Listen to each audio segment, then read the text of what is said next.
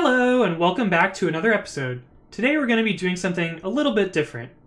I've been streaming a lot recently on Twitch, and one of my followers suggested I work through the advent of code. In this episode, I'm going to introduce what that is and the project template I'm going to be using to hack through the daily challenges. Okay, first, what is the advent of code? Disregarding the mild blasphemy, the advent of code is an advent calendar of programming challenges. In December, there's two challenges per day until Christmas. These challenges are small programming puzzles that increase in difficulty as the month goes on. The challenges have been running since 2015 and are still available if you want to work through old challenges. Why do this? Good question. I'm doing it because it's fun, but you might find this useful for interview prep, learning programming, or just a good excuse to practice some problem solving.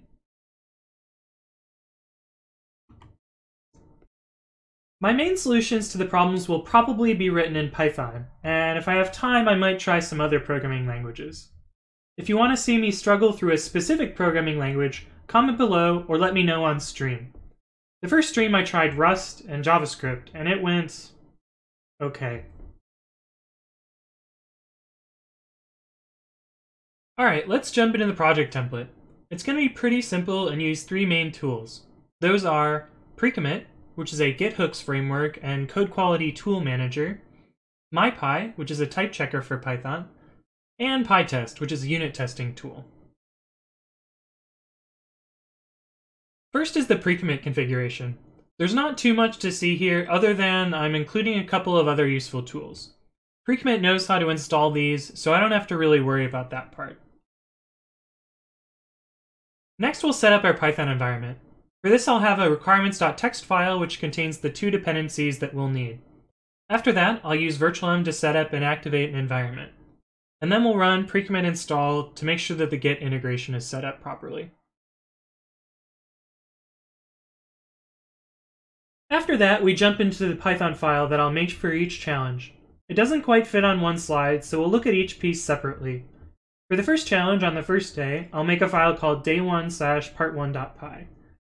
The first piece is the main function. This function reads in the input data file from the challenge and calls our compute function. The compute function is where we'll eventually code up our solution. The next part of the file is the tests. This is where we'll leverage PyTest to check some inputs and outputs with our solution. In this example, I've taken the examples given by the day 1 part 1 problem. We're using PyTest parameterize to generate a bunch of tests based on these pairs of expected inputs and outputs. The last part of the file is the compute function. This is where I'll write my solution. There's also imports just because they live at the top of the file. Notice here that I've taken care to type annotate the compute function. This will ensure that MyPy checks the type safety of my implementation. And that's it. That's all the code for the template I'll be using. Now we'll see how I go about running it.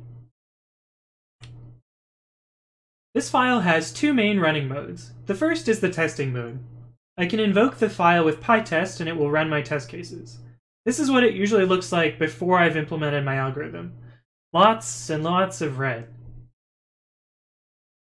The second mode is the challenge answer mode. Here you can pass in a data file and it will compute your answer. In this example, I'm showing my answer for day one. Don't worry, everyone has a unique input, so this won't spoil or help you cheat on day one.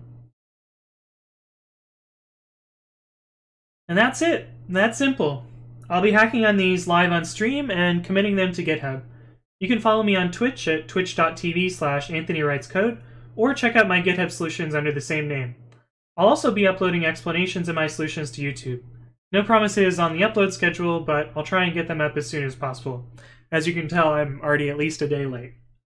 Anyway, thanks for watching, and have a good one!